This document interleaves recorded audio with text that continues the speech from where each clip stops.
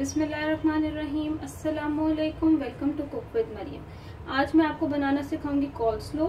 ये बहुत ही मज़े का बनता है। हर फास्ट फ़ूड के साथ आप इसको सर्व कर सकते हैं। इसकी रेसिपी शुरू करते हैं। इसमें जो जो चीज़ें चाहिए हैं वो मैं आपको बता देती हूँ।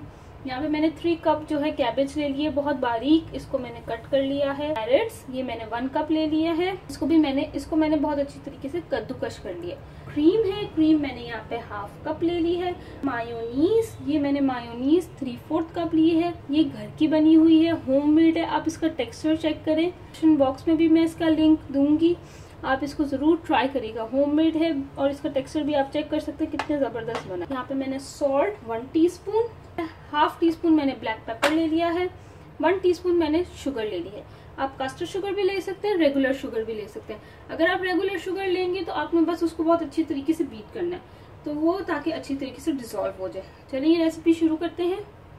अब आपने बस एक बड़ा सा बाउल लेना है। बहुत सिंपल इसकी रेसिपी है। इस बाउल के अंदर आपने ये मायोनीज इसके बाद आपने ये जो क्रीम आपने ली है, वो डाल देनी है। और यहाँ पे मैंने शुगर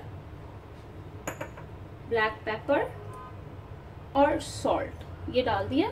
इस विस्क की मदद से बहुत अच्छे तरीके से आपने इसको मिक्स कर लेना है। इसमें अगर आपको थोड़ा सा ब्लैक पेपर या सॉल्ट का थोड़ी सी कमी महसूस हो रही है, आप इसके अंदर डाल दिएगा इस स्टेज पे आप इसको टेस्ट कर लें।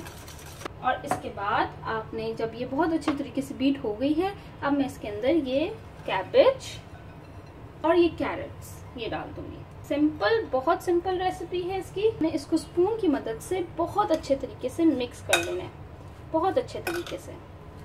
कॉल स्लो रेडी हो गई है। आप इसको ज़रूर ट्राई करिएगा और मुझे फीडबैक देगा कि ये कैसी बनी है।